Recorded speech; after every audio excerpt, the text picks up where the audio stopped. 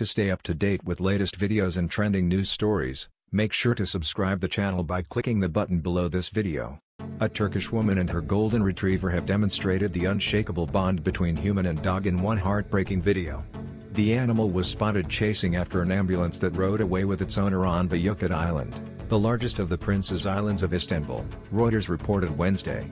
Her dog continued its guardianship as they loaded the patient into the back of the ambulance. Despite its anguished plea, and those big, puppy eyes, medics could not allow the animal to ride inside due to health policies and hygienic safety. They shut the doors, likely assuming the dog would wait there for its caretaker's return.